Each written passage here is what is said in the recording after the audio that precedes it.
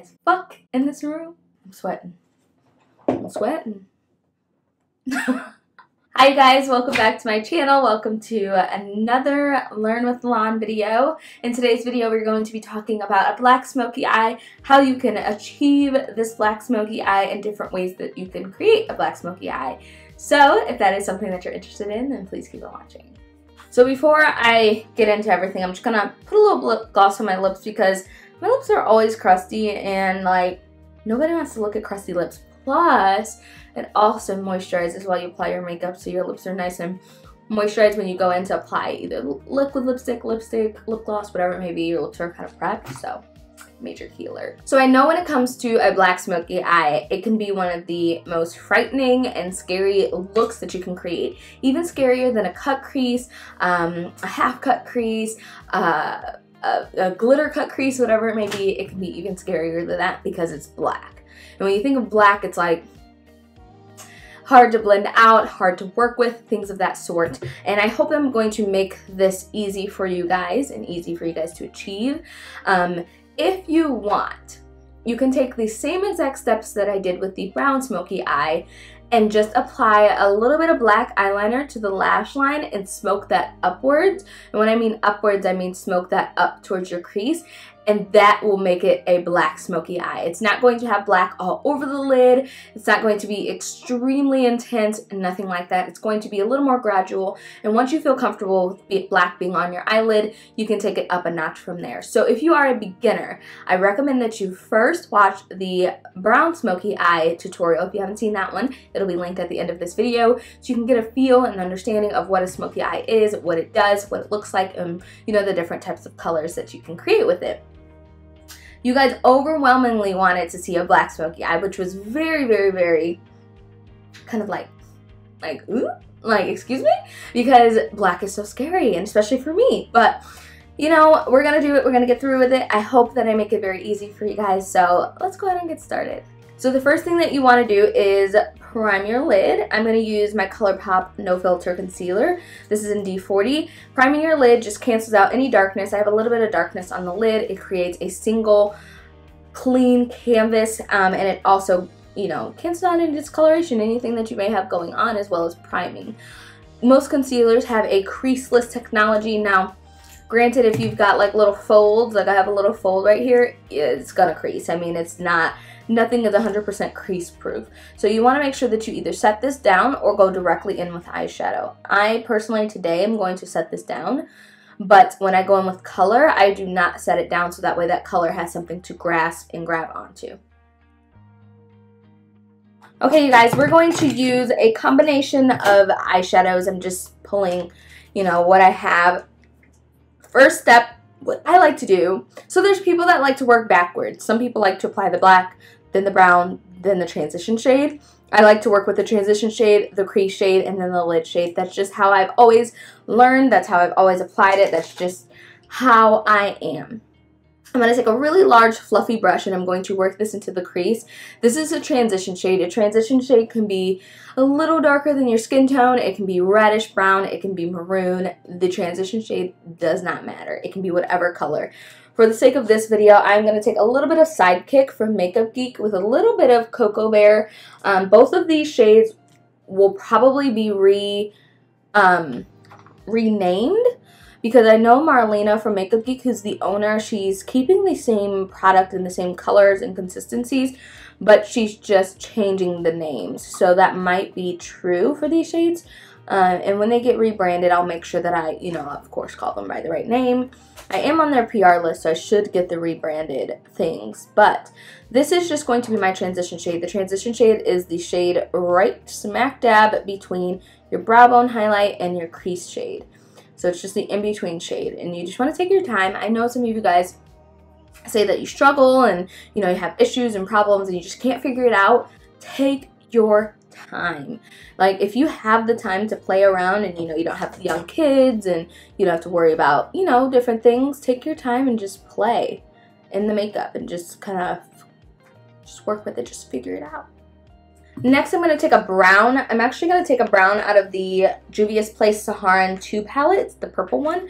I'm going to take the shade Fez right here and that's going to go as my crease shade. I'm going to use a JH34. This is like a rounded crease brush, and this is going to be my crease shade. So this shade just goes smack dab in the middle of the transition shade and the black. Now this shade is actually more warm than I like it, so I'm going to take my Nubian 2 palette and take Kenya right here. It's a little, it's a little more of a brown. Because you want this middle shade to be in between the two shades that you use. So this brown shade is in between the black and in between the reddish brown that we used in the crease. So you want your crease shade, the shade that's going to help you blend out the black to be the middle color. So right in between the colors on the spectrum, if that makes any sense. So I'm just applying this into the crease. Not too much because we're going to be applying a little bit more. So just making sure that I have groundwork down ready to be blended a little later.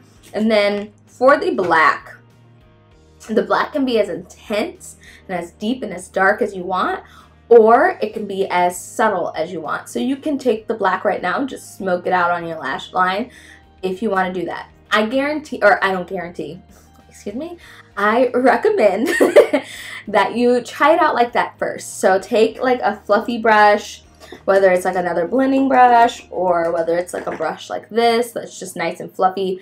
Take a brush like this and pat the black on the lid and then blend it out a little bit and see how you like it like that before you try to make it intense. I'm going to try to make it intense. So I'm going to take this eyeshadow base from NYX. It looks like this and it's a black eyeshadow base. It's kind of like a gel eyeliner, but it's not a gel eyeliner, and this is what I'm going to use as my base color for the black. I'm going to use an E58 cream color brush from Sigma, and I'm going to apply this all over the lid space. Now, this is really going to intensify that black and make it 10 times darker. Make sure you hit the lash line as well and start to bring it up into the crease.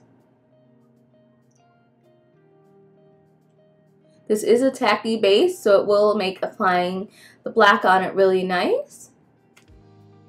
For the black, I'm going to use Makeup Geeks Corrupt, and I'm going to take it on this E25 blending brush from Sigma, and I'm just going to take it on the side of the brush and do like a patting-like motion.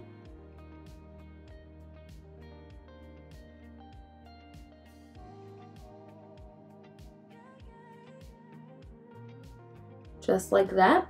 And make sure I pat it all the way over the color.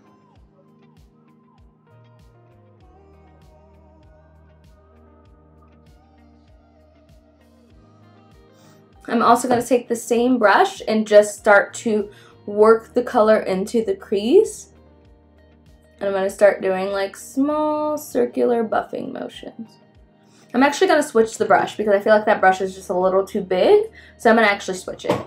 So I actually am going to switch over to a JH40. This brush is so good for like detailing crease work. Absolutely love it.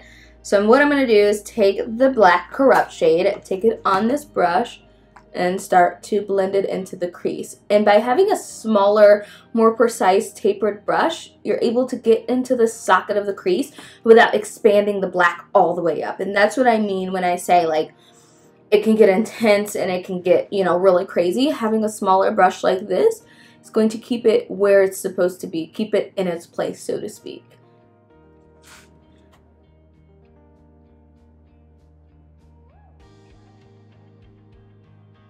And it's just a lot of going back and forth. That's why Black Smoky Eyes, I think I film a Black Smoky Eye video every, I don't know, every year or two because they're just tedious and they take a lot of work and I just don't do them that often.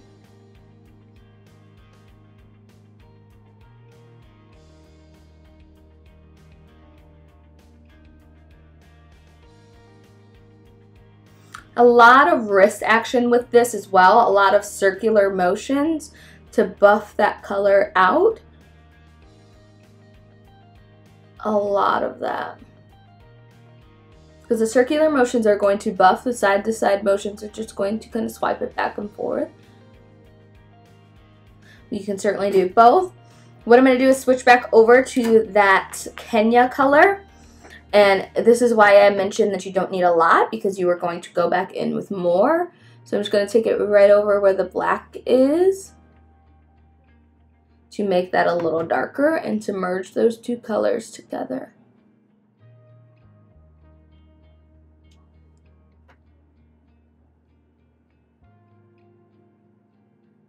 Love, love, love. There's no product on this brush. I'm just running it over the top just to make sure everything's nice and blended together. And then boom, bam, thank you, ma'am. Like you literally have the black smoky eye. Now what you can do is clean up out here if you want a nice, crisp, sharp edge. Um, I'm not going to worry about it too much. But we ourselves, we have ourselves a nice black smoky eye. Nice and deep and rich and dark and intense. So what I'm going to do is do the other eye, um, and also, like, as you see, I'm just taking brushes and adding more product, blending some product out. Um, I pretty much have, like, two brushes in my hand at all times whenever I'm doing a smoky eye, because it's a lot of back and forth. It's a lot of apply, a lot of take away, a lot of blend out, a lot, a lot, a lot of that. So, um, it's just, just blending, just blending work and just it's just a lot. Your job is never done when you're doing a smoky eye. So I'm going to do the other eye and then I'm going to come back on for the lips and the final, you know, final points and things like that. So yeah, Okay, you guys, so I'm going to put a black liner in the waterline. This is optional. The lower lash line is always optional. It just adds that extra smoke appeal. So I'm just going to apply this into the waterline.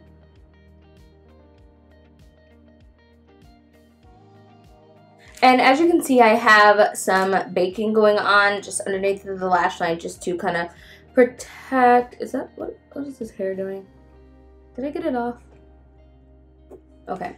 Um, just to kind of protect the lower lash line because black can be pretty intense. And I'm going to use an E15 and also that same Corrupt eyeshadow and go directly underneath of the lash line. And because I'm doing this, um, I just needed that barrier to kind of protect it.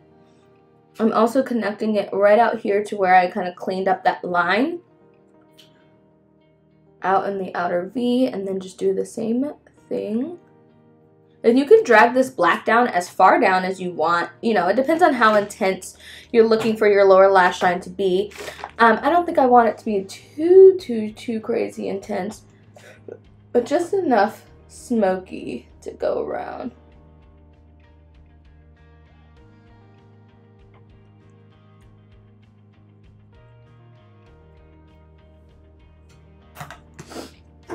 So now I'm going to take a pencil brush and also the same brown shade and just use that to blend it out. And the brown, I'm not worried about being too defined, like too clean, to, so to speak. I'm just using it just to buff the black, so I'm kind of being a little more messy than I was with the black. Also making sure I kind of rough up this outer edge a little bit. My nose is watering. Oh my gosh, I'm so sorry with all the sniffles, but I don't want it to be too perfect. Okay, so the last step is inner corner. In the inner corner, you can kind of do whatever you want to do with it. Um, I think I'm going to do gold. I have this like liquid gold eyeshadow. It's the Appeal Liquid Eyeshadow in the shade gold. I think I'm going to pop this into the inner corner has a little brush. I'm just going to use like a little inner corner brush. Tap some of it off on my finger or my hand and just kind of pat it in there.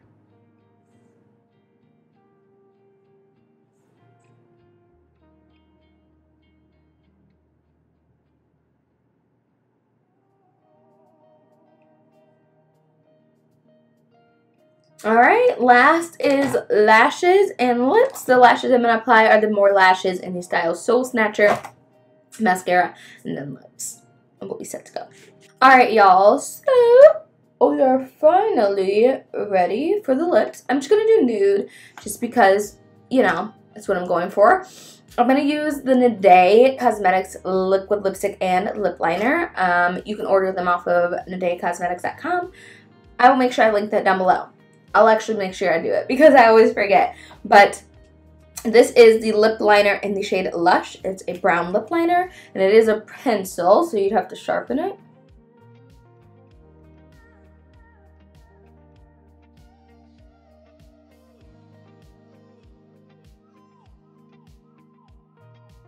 And then the liquid lipstick is in Sunkissed. So it's just a really light nude. I'm actually going to grab my other lip liner because this one is a little light and like for my liking. Like I like for my lip liner to kind of have like a stark difference. And it doesn't. So, switch it. So this is the Kiss lip liner in chocolate. This is the one that I've been loving.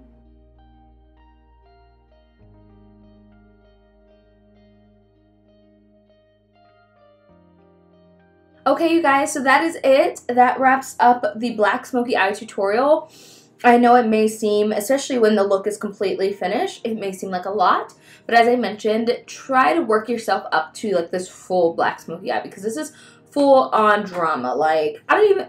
I don't even know where I would wear this look to. Honestly, like a look like this, I would wear to a club or like a party that's about me. You know what I mean? Like not somebody else's party. Like if I'm going to somebody else's party, I'm wearing my brown smoky eye all day long. But if it's like my party, I want to be the star, the drama, you know, everything. This is where I was wear the where I would wear that look. I don't know about a date night.